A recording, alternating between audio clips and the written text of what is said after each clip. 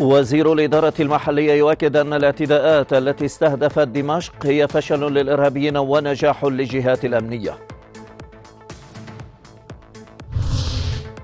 القيادة العامة للجيش تنفي استخدام غاز الكلور ضد الإرهابيين في عين ترمى في عناوين هذه النشرة أيضا الخارجية تؤكد أن تقرير منظمة حظر الأسلحة الكيميائية بشأن حادثة خان شيخون لا يتمتع بأي مصداقية ولا يمكن قبوله لأنه يبتعد عن المنطق.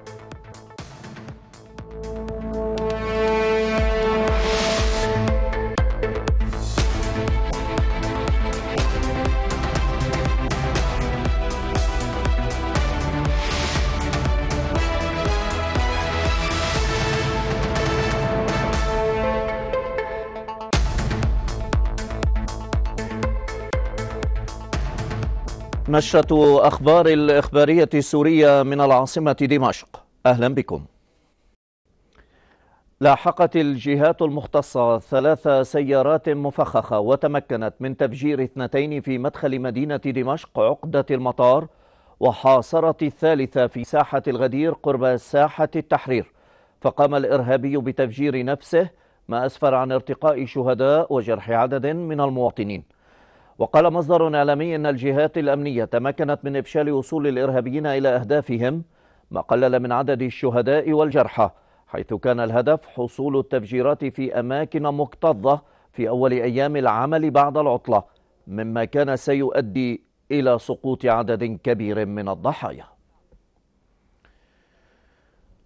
وقال وزير الإدارة المحلية والبيئة المهندس حسين مخلوف من موقع التفجير في ساحة الغدير حيث يرافقه محافظ دمشق. قال إن الإرهابيين فشلوا في تحقيق أهدافهم بإيقاع المزيد من الشهداء والجرحى هلا ما حدث هو فشل للإرهابيين ونجاح للجهات الأمنية آه، اللي آه، تعاملت مع هذا الاستهداف بنجاح وإن كنا قد خسرنا آه، بعض الشهداء الرحمه على أرواحهم وهناك بعض الجرحى والمصابين في المشافي سيعالجون إن شاء الله.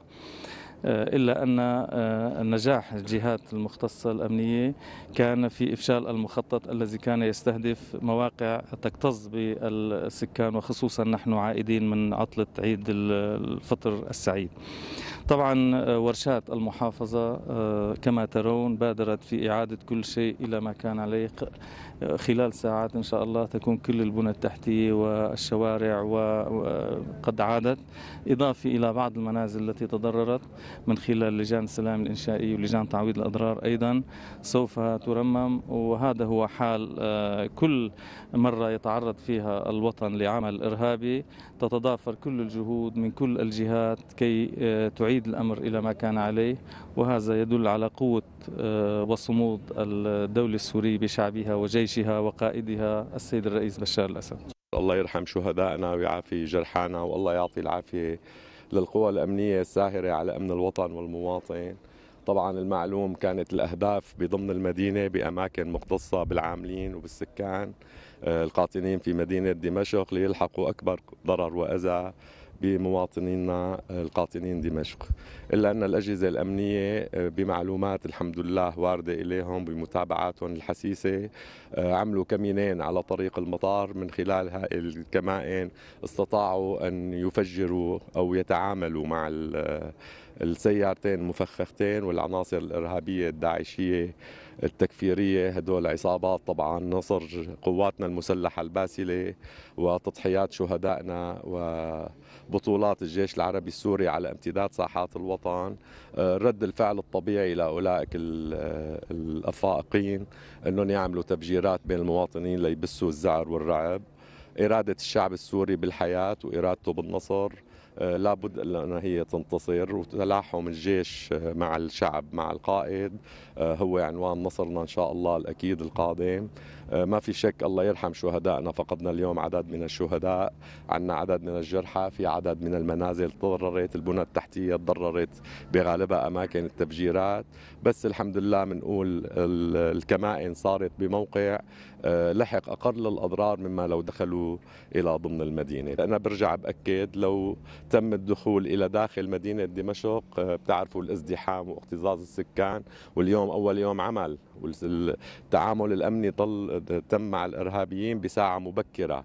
يمكن كإعلام كهي درينا بالسبعة ونص دريتوا بالسبعة وربع سبعة ونص بس الأمن عم يتعامل كان من الساعة الخامسة صباحا.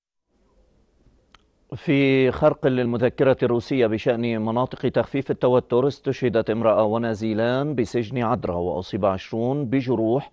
جراء استهداف الإرهابيين بقذائف الهاون منطقة عدرا بريف دمشق.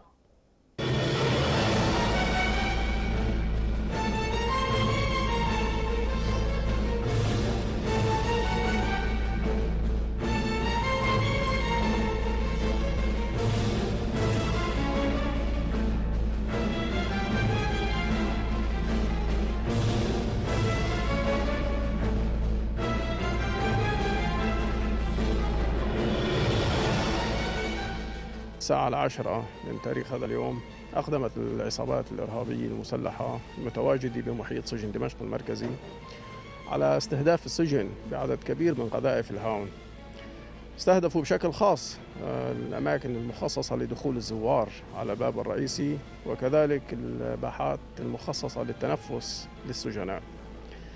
آه، نجم عن تلك القذائف التي استهدفت الزوار آه، استشهاد شابة بالعشرين من عمرها وإصابة طفل عمره خمسة أعوام إصابات بليغة في رجليه. كما أدت القذائف التي استهدفت السجناء داخل باحاتهم على إلى استشهاد نزيلين اثنين مباشرة وإصابة خمسة عشر نزيلا آخرين. تم إسعاف معظمهم إلى مشفى شرطة بحرستا لتلقي العلاج والإسعافات الضرورية والعمليات الجراحية اللازمة. أنواع الإصابات متعددة أماكن متعددة يعني مو شرط أنها متعددة في عظمية في جراحة أوعية في كله متطلب العمليات الجراحية إسعافية إصابات آه، حرجة جدا فيه. في عندنا اثنين استشهدوا. نفس الوقت في شظايا خفيفة إصابات خفيفة الحمد لله الشباب موجودين هون. قمنا بالواجب معهم ضمدناهم هون وأعطيناهم العلاج الكامل. كما استشهد شخصان جراء خرق المجموعات الإرهابية لمذكرة مناطق تخفيف التوتر واستهدافها بالقذائف حي الكاشف بدرعا. إذا مشاهدينا مجددا التنظيمات الإرهابية المسلحة تستهدف مدينة درعا بعدة قذائف صاروخية. هذه المرة أتت القذائف في كراجات مدينة درعا. كان هناك ازدحام أيضا من المواطنين. إذا نرى رجال الإطفاء يقومون بأداء مهمتهم. بإطفاء الحريق وصلت رجال الاطفاء الآن إلى اخماد الحريق. آه هذا الحريق الذي الذي أدى إلى آه احتراق آه صهريج من المحروقات. صهريج من المازوت كان مهيأ أو أو معد لسرافيس التي تقوم بالانطلاق من هذه الكراجات إلى الأماكن المحيطة في مدينة درعا إلى القرى محاور مدينة درعا. اذا رجال الأطفاء الذين يقومون بمهمتهم الآن باخماد الحريق كما نشاهد هذه الخروقات تجدد من قبل المجموعات الإرهابية المسلحة. يوم أمس كان هناك عدة خروقات على مدينة درعا على أحياء مدينة درعا حي الكشف ما أدى إلى أضرار مادية كبيرة إلى حريق في المنازل إلى إصابات عدد من المواطنين. واليوم أيضا تجدد المجموعات الإرهابية المسلحة خروقاتها إلى مدينة درعا. آه، دائما هذه الخروقات من قبل التنظيمات الإرهابية المسلحة تأتي بعد استهداف الجيش العربي السوري إلى مواقع التنظيمات الإرهابية المسلحة في حي المنشية وأيضا درعا البلد الحدود الأردنية السورية خسائر كبيرة تتلقاها التنظيمات الإرهابية المسلحة. نتيجة هذه الخسائر دائما يكون لها ردة فعل جبانة دائما تقوم بخروقات على مدينة درعا باستهداف الأحياء السكنية الآمنة في مدينة درعا. إذا كما نشاهد رجال الأطفاء الآن يقومون بمهمتهم في إخماد الحريق مباشرة. مثل ما أنت شايف الحريق كبير عبارة عن سهريد مازوت. سعته في فوق ال 10000 لتر والسيارات كلها عم بتضخ عليه. الحريق ضخم وكبير. مثل ما يكون شايفين خزان مازوت. والحمد لله تمت السيطرة عليه. والأمور بخير إن شاء الله. الله ينتقم منهم بيضربوا على المدنيين. نطلب من قواتنا المسلحة أن لا تتهاون ضد الإرهابيين وضد الخونة اللي خربوا البلاد. شو كان ناقصنا حتى هم بدعوا إنه بدهم حرية وحرية؟ شو كان ناقصنا بالوطن؟ كنا أنا وأمي على البرندة عم عم نغسل ونعزل البيت وما حسينا إلا وقعت صوت القذيفة و... وفتنا نركض كنت حسينا إنه تصاوبنا وصار الدم ينزل وركضنا على الغرفة بعدين صرنا نسيح الجيران. تيجوا يسعفونا كنت أنا وبنتي على البرندة عم نشطف ونعزل البيت. ما حسيت إلا شيء شانه حطني جوا الغرفة. وصرت أحس بوجع بإيدي وبنتي بين يدي صارت عم تنسف صرت أصرخ على الجيران لحتى حدا يجي يشوفنا وهيك. بعدين ما حسيت الا هون ابني ما له ذنب ولا له أي شيء. بيته. الله ينتقم من اللي كان السبب. كنت بالبيت. اجى الصاروخ باب البيت. شظايا إجت علينا تصوت حسبي الله ونعم الوكيل. أي طالع وراكب بسكيت وبدي أمشي بعدني وانها نازل قذيفه شرخت إيدي من هون من الكتف. نقول حسبنا الله ونعم الوكيل بس الله على الظالم. تم الإبلاغ عن حالات إصابة إصابات مدنية. تم استقبال ثمان إصابات مدنية بين حاله خطره وحاله حرجة وشهيدين امرأة ورجل. بالعقد الرابع من من العمر.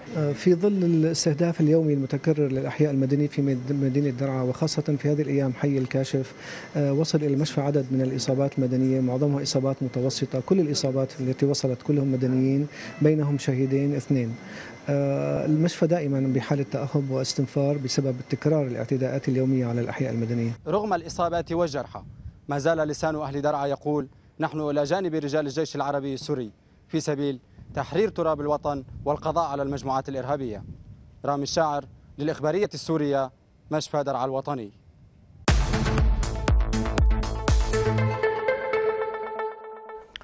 أكدت القيادة العامة للجيش والقوات المسلحة في بيان لها أن الأنباء التي تناقلتها بعض مواقع الإنترنت التابعة للمجموعات الإرهابية حول استعمال الجيش العربي السوري لغاز الكلور ضد إرهابيي ما يسمى فيلق الرحمن في عين ترمى هي أنباء كاذبة وعارية عن الصحة.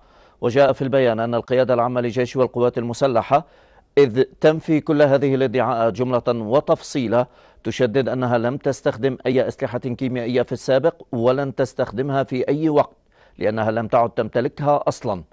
البيان ختم بالقول أن القيادة العامة للجيش والقوات المسلحة تؤكد أن هذه الأكاذيب والروايات الملفقة أصبحت مكشوفة للقاصي والداني ولم تعد تنطلي على أحد وتقوم بفبركتها هذه المجموعات الإرهابية لتبرير هزائمها وخسائرها الكبيرة التي تمنى بها كلما تقدم الجيش العربي السوري في أحد المناطق.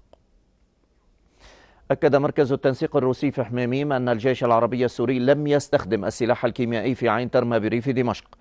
مصدر دبلوماسي روسي قال إن مجموعة من ضباط مركز التنسيق الروسي كانت تعمل في حي الكباس المجاور لقرية عين ترمى أكدت أنه لم يتم هناك رصد أي استخدام للأسلحة الكيميائية من قبل القوات الحكومية لا من هذه المنطقة ولا من المنطقة المجاورة لها.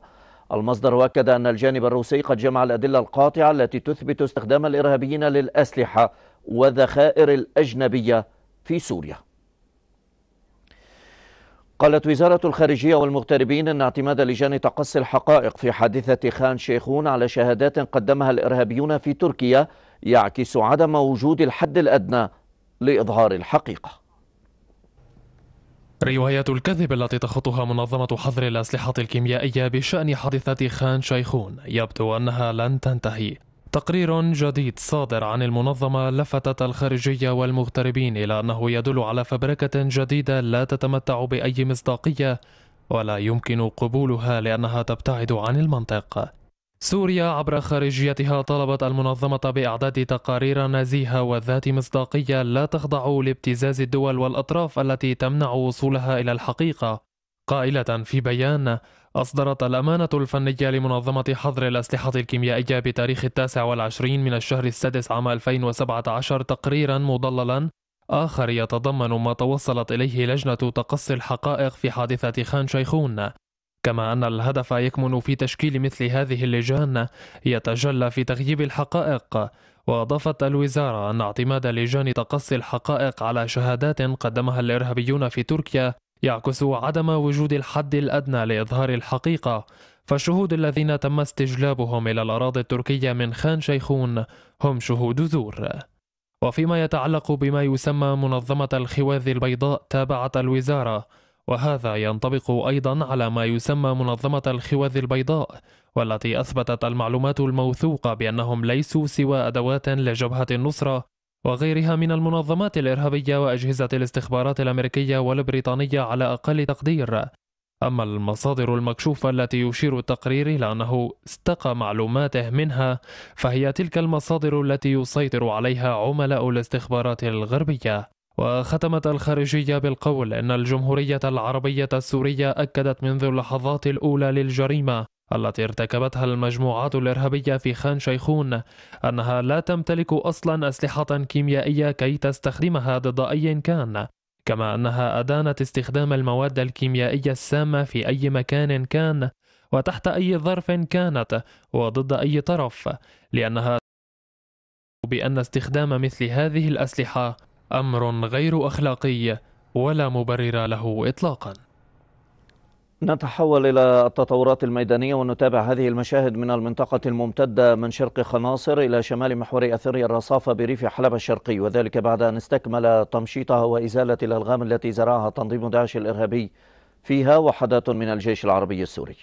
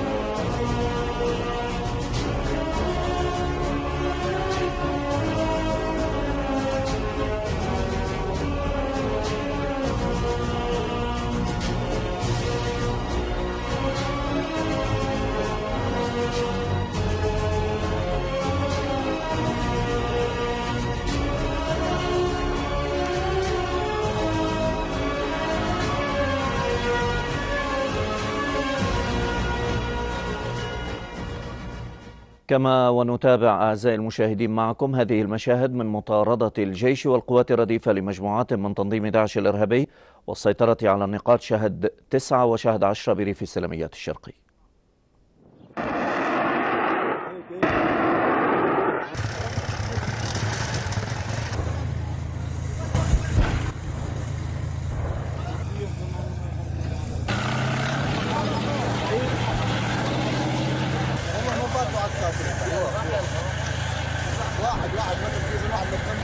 العزيز.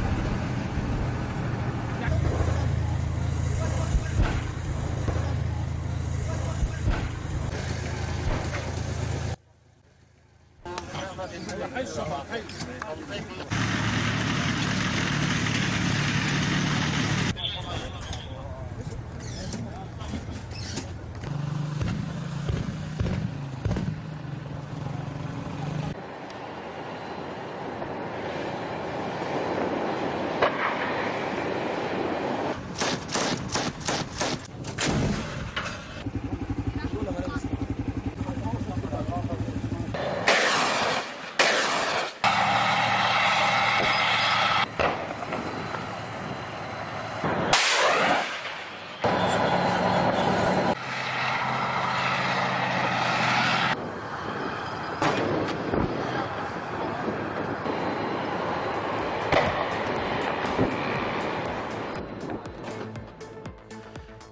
هذه النشرة مستمرة وفيها بعد الفاصل. قوات الاحتلال الإسرائيلي تعتقل خالد جرار عضو المجلس التشريعي وستة فلسطينيين آخرين خلال حملات دهم بالضفة الغربية.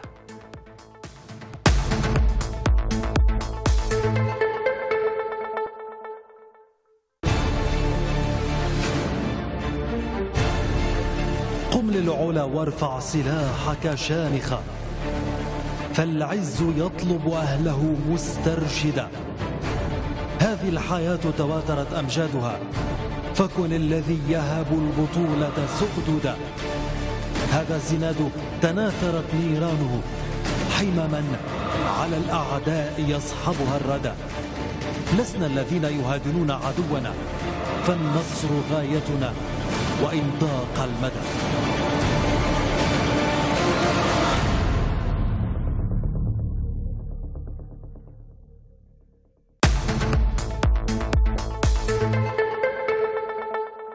أهلا بكم من جديد.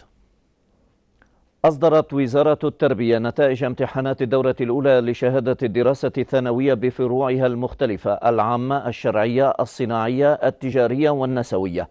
وقال وزير التربية الدكتور هزوان الوز في مؤتمر صحفي إن أكثر من مئة ألف طالب وطالبة تقدموا لامتحانات الدورة الأولى لشهادة الدراسة الثانوية الفرع العلمي. نجح منهم ستة وخمسون ألف ومئة وتسعة وتسعون. بنسبة نجاح خمس وخمسون بالمئة.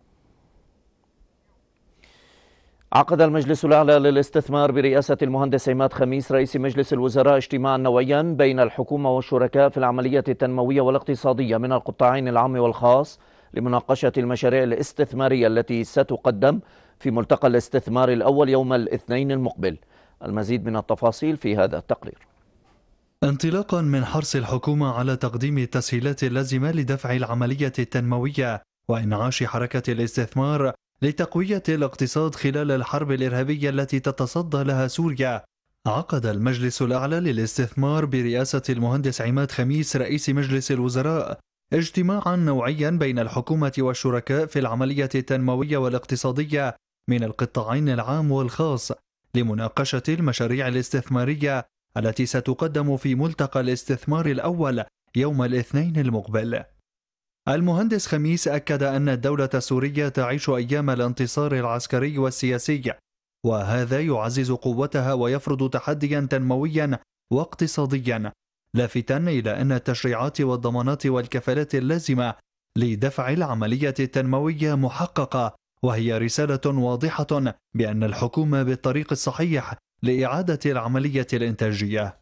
المهندس خميس بين أن أحد مكونات العملية الاقتصادية هو إطلاق العملية الاستثمارية وللقطاع الخاص دور أساسي فيها حيث لا يمكن لهذه العملية أن تكتمل إلا مع الشركاء من القطاع الخاص وأن الحكومة لن تسمح لرأس المال أن يبقى خائفا في سوريا وستتابع الحكومة العملية التنموية تحت مسمى اقتصاد الحرب لتحقيق العمل المشترك لكل مكونات الاقتصاد السوري.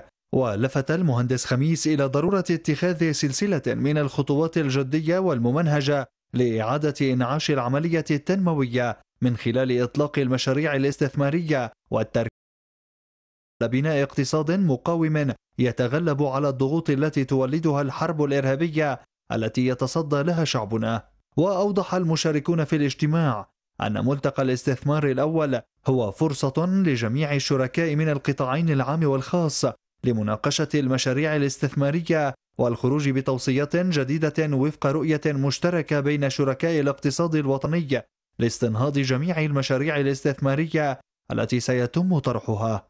وبين المشاركون أن عدد المشاريع المطروحة للاستثمار في الملتقى حوالي 150 مشروعا في الزراعة والصناعة والسياحة والطاقة حيث تتطلب هذه المشاريع مشاركة القطاع الخاص لتنفيذها على النحو المطلوب مؤكدين أنه سيتم تقديم الكثير من التسهيلات لهذه المشاريع لصهر جميع رؤوس الأموال في العملية التنموية واستنهاض القطاع الخاص لئلا يبقى خارج العملية الاستثمارية.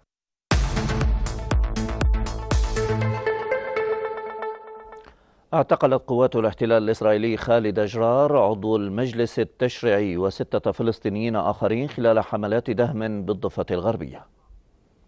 شنت قوات الاحتلال الصهيوني حملة اعتقالات في الضفة الغربية المحتلة طالت تسعة مواطنين بينهم النائب في المجلس التشريعي خالد جرار وناشطة نسوية وأسيرا محررا وسط مواجهات اندلعت خلال عملية الاعتقال. قوة احتلالية اقتحمت منزل النائب جرار في رام الله واعتقلتها وسط مواجهات اندلعت في محيط المنزل.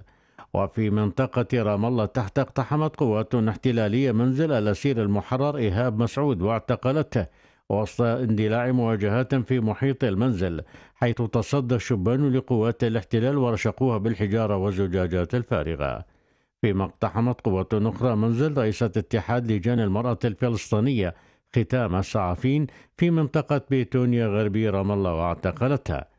وكانت قوات الاحتلال قد أفرجت عن النائب جرار قبل عام بعد اعتقال دام 15 شهرا فيما أفرج عن الأسير مسعود في شباط الفات بعد اعتقال دام 12 عاما.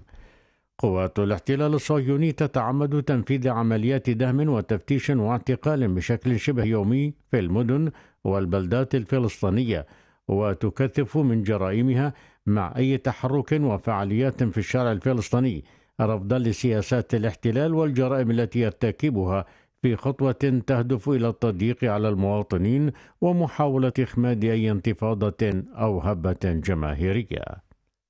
عمليات نووية للجيش اليمني واللجان الشعبية في محافظات تعز الجوف حجة أوقعت العديد من القتلى والمصابين في صفوف مرتزقة النظام السعودي. عمليات للجيش اليمني واللجان الشعبية في محافظتي تعز والجوف أسفرت عن مقتل ستة عناصر من مرتزقة النظام السعودي. مصدر عسكري يمني قال أن عنصرين من المرتزقة قتلا وأصيب أربعة آخرون بعد أن أحبطت وحدات الجيش اليمني واللجان الشعبية محاولة تسلل لهم باتجاه موقع التبة الحمراء بمنطقة الخنجر بمحافظة الجوف. وفي مديرية صالة بمحافظة تعز قتل أربعة عناصر من مرتزقة العدوان بنيران الجيش واللجان. عملية عسكرية نوعية أخرى للجيش واللجان تمكنوا خلالها من تأمين عددا من المواقع شمال صحراء ميدي بمحافظة حجة وأوقعوا خلالها قتلى ومصابين في صفوف المرتزقة وخسائر مادية واستولوا على أسلحة لهم. وإمعانا في جرائمه المتواصلة بحق الشعب اليمني شن طيران العدوان السعودي الأمريكي غارتين على مديرية المتون بالجوف وألحق أضرارا مادية بالممتلكات العامة والخاصة. ويشن النظام السعودي بمشاركة أنظمة خليجية أخرى وبدعم من الولايات المتحدة عدوانا متواصلا على اليمن منذ السادس والعشرين من أذار عام 2015 أسفر عن استشهاد وجرح عشرات آلاف المدنيين ودمار هائل في البنى التحتية إضافة إلى تردي الأوضاع الاقتصادية والصحية والمعيشية في البلاد. هذه النشرة انتهت والآن تذكير بعناوينها. وزير الإدارة المحلية يؤكد أن الاعتداءات التي استهدفت دمشق هي فشل للإرهابيين ونجاح للجهات الأمنية. القيادة العامة للجيش تنفي استخدام غاز الكلور ضد الإرهابيين في عين ترمى الخارجية تؤكد أن تقرير منظمة حظر الأسلحة الكيميائية بشأن حادثة خان شيخون لا يتمتع بأي مصداقية ولا يمكن قبوله لأنه يبتعد عن المنطق. مني ومن جميع العاملين في هذه النشرة كل التحية دمتم بخير. برعاية الله.